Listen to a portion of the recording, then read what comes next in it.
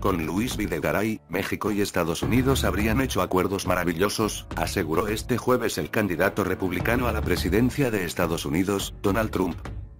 En su cuenta de Twitter, el magnate aseguró además que con la renuncia del exfuncionario México ha perdido a un ministro de finanzas brillante y hombre maravilloso que sé que es muy respetado por el presidente Enrique Peña Nieto. La declaración del candidato republicano se da después de que la noche anterior subrayó que la dimisión del ex titular de la Secretaría de Hacienda y Crédito Público SHCP era prueba del buen resultado de su visita a México. La gente que organizó el viaje a México ha sido forzada a dejar el gobierno. Así de bien lo hicimos, destacó en entrevista con la cadena estadounidense NBC. Y hoy soltó. México y Estados Unidos habrían hecho acuerdos maravillosos juntos, donde ambos México y los EU habrían salido beneficiados, si Videgaray, quien supuestamente gestionó la visita de Trump a México, hubiera continuado al frente de la SHCP. Déjanos tu comentario en la parte de abajo.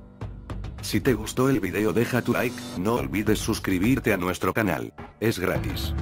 Hasta pronto,